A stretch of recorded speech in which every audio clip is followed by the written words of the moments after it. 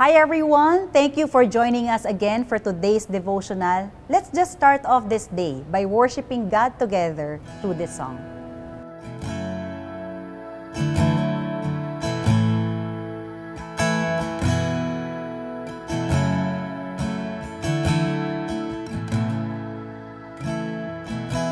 See what love the Father has for us.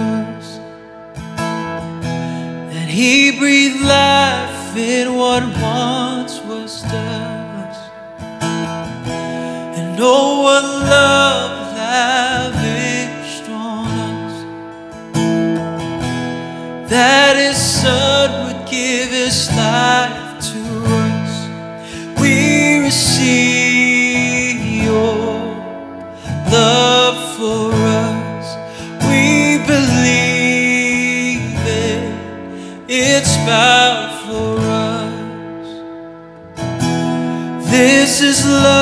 that Jesus died for us. and Poured our guilt and shame upon the cross. The greater love that God has shown to us. Still in our sin, He made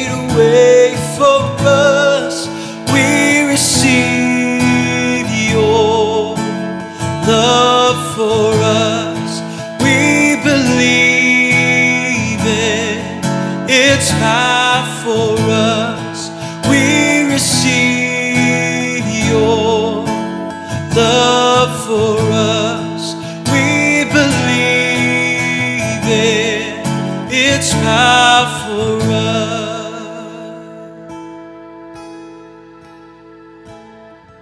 Our sin has been defeated. Oh, death, where is your sting? The love of our Messiah has won our victory. The power of your love, we sing, Lord, we receive. The love that bought our freedom, the love of Christ our King. Our sin has been defeated. Oh, death, where is your sting? The love of our Messiah has won our victory. The power of your love, we sing, Lord, we receive. The love that bought our freedom, the love of Christ our King. Our sin has been defeated. Oh, death, where is your sting? The love of our Messiah has won our victory. The power of your love, we sing, Lord, we receive. The love that bought our freedom, the love of Christ our King.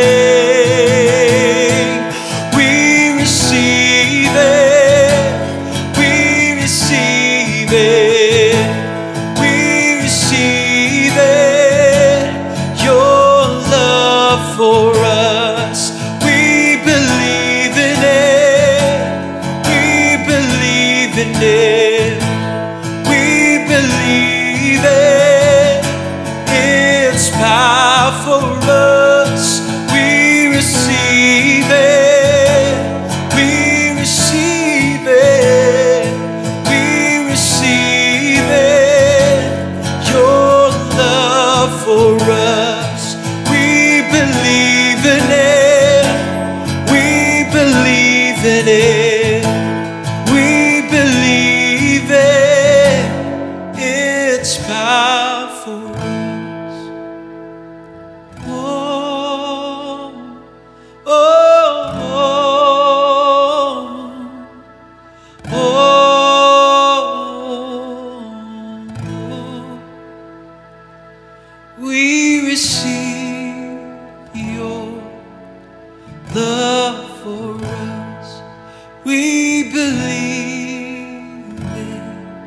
It's power for us.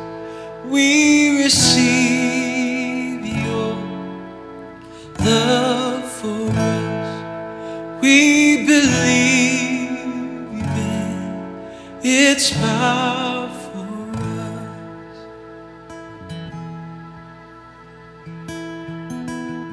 Lord, thank you for this day. God, allow us to receive from you as we look into your word. Open our hearts to just really receive the word that you're planting deep into our soul, into our spirit, and help us respond in obedience. In Jesus' name, amen. Once again, good morning, everyone. And this week, we've been looking into what is known as Paul's apostolic prayer for the church in Ephesus, which is found in chapter 1, verses 15 to 23. But I'll read up to verse 19 only today.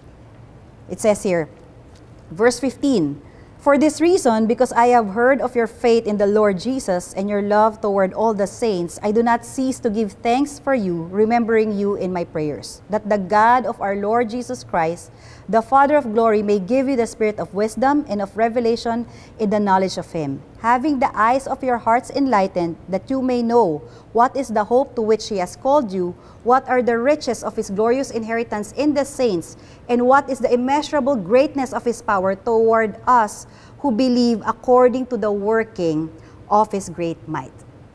Paul's prayer is that God would open the eyes of the believers to see the truth about God so that they would know three things. In the verses that we read, it says there are three things. The first one is that the hope to which they are called. The second one is the riches of God's glorious inheritance in the saints. And the third is the immeasurable power of God at work in the believer's life. So, yesterday we talked about the first one. Tomorrow you'll learn about the third one. But today, we're going to look into the second thing that Paul mentioned, and it is found in verse 18. So, it says there, um, having the eyes of your hearts enlightened, that you may know what is the hope to which he has called you, what are the riches of his glorious inheritance in the saints. Now, this verse talks about inheritance. What comes to your mind when you say the word inheritance? You know, usually when inheritance is mentioned, it is something that is received in the future, something that is definitely valuable, and something that stirs up excitement, especially when you're the one receiving it.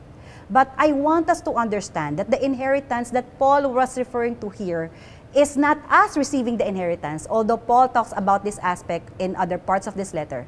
Not even us giving the inheritance, but us being the inheritance. And if you look at the verse that we read closely, it speaks of us being God's inheritance. Now, what does this mean? Again, when you look at the concept of an inheritance, there are a few elements surrounding it. First and foremost, it has a recognized value. You know, the value may be monetary, taas ng market value, may resale value, or may profit involved. But other inheritances may be for the sake of memory. Kaya nga, di ba yung mga heirloom, which is, might not, might not be valuable for you, but it's valuable to a certain group of people because of the memory that it holds. The point here is this. An inheritance has its value because its value is being recognized by the one giving it and the one receiving it. Second, it has to be owned by someone so that it can be received by someone else. And this speaks of ownership. Dahil pag hindi, hindi mo siya mapapamana exclusively to someone. It is considered as a public property. Anyone can claim it, anyone can use it.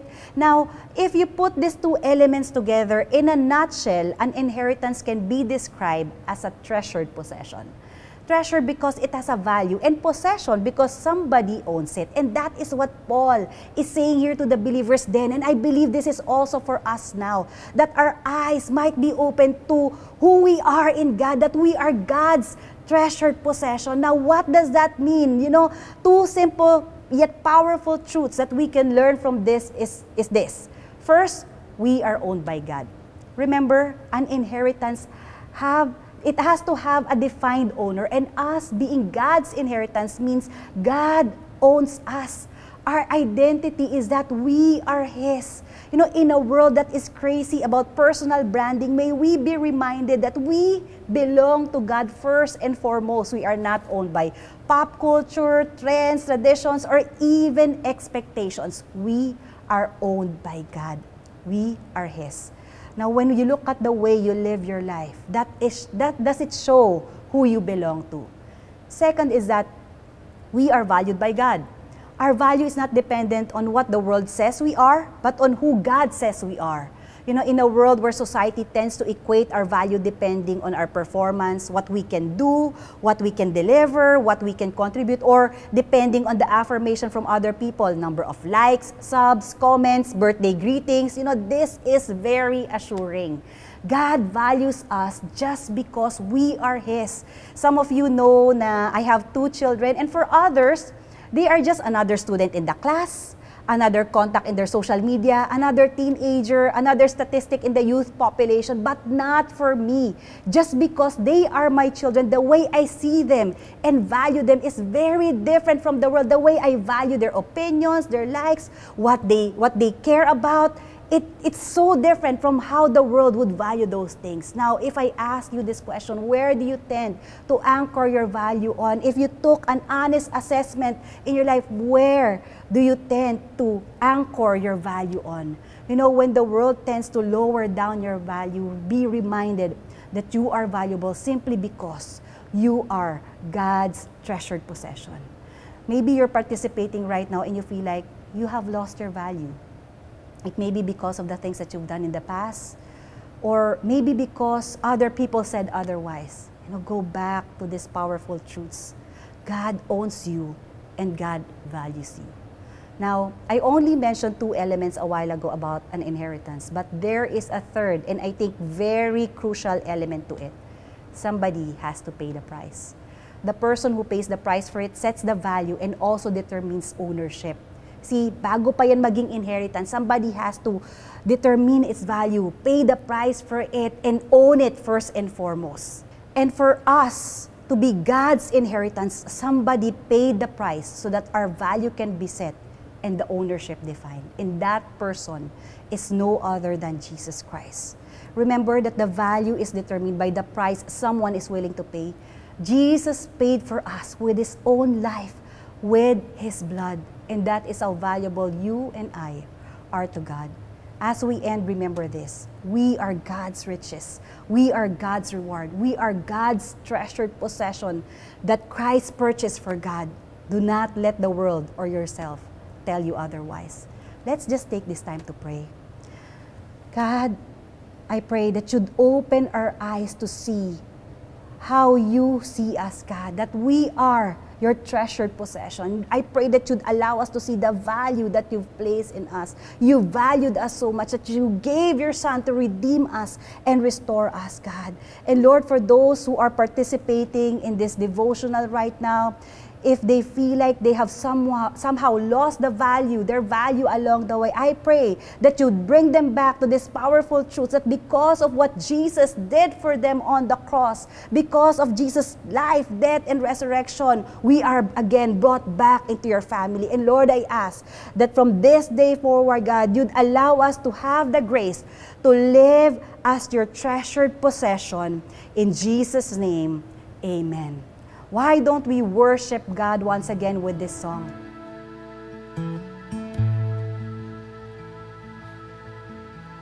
Our sin has been defeated. Oh, death, where is your sting? The love of our Messiah has won our victory. The power of your love. We sing, Lord, we receive. The love that bought our freedom, the love of Christ our King. We receive it, we receive it, we receive it, your love for us. We believe in it, we believe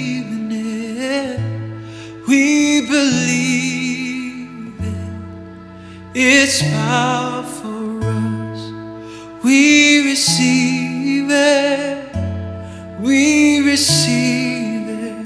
Yes, Lord. We receive it. Your love for us.